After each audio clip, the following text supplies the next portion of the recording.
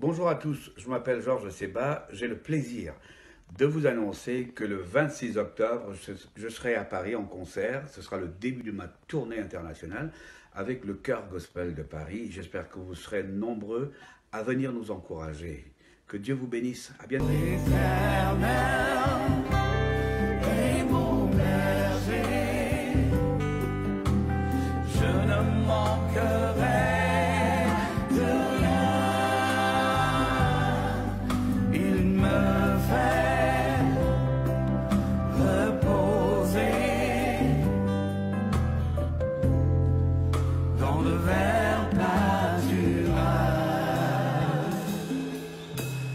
Je marche dans la vallée de l'ombre de la mort,